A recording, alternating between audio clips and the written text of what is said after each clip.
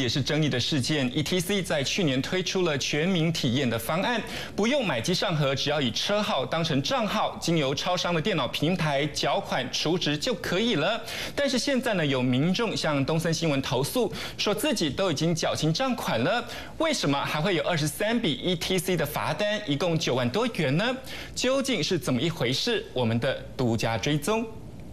小鱼到超商的 iPhone 查询自己的 ETC 账号，结果是四十八小时前都没有欠费记录，但再一次查询有无交通罚单，却跳出来二十三笔，总共九万多元的 ETC 逾期罚款。就是两天前我也没有欠费记录啊，那为什么我今天还会收到九万七千六的罚单呢？投诉人明明钱都缴了，怎么还会有罚单？原来他参加的是全民体验方案，没装机上盒，仅用车牌号码当账号，缴费储值都是透过超商。电脑平台，但怎么会这样呢？来到远通电收的门市查个清楚，这才发现，其实他次数中间很多，他也搞不清楚他自己的余额不足。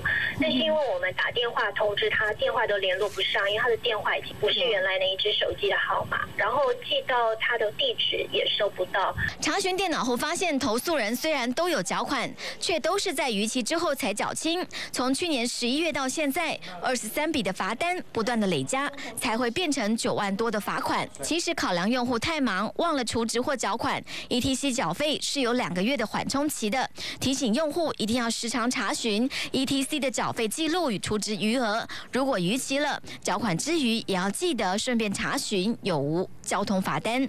东森新闻董一贤、蔡双全在台南采访报道。